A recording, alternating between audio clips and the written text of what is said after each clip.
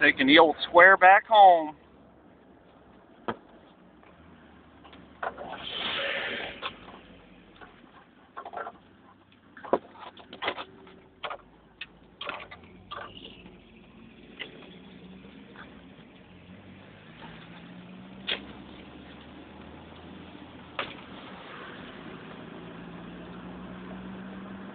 Thanks to the guys at Off-Road Center and my Uncle Glenn.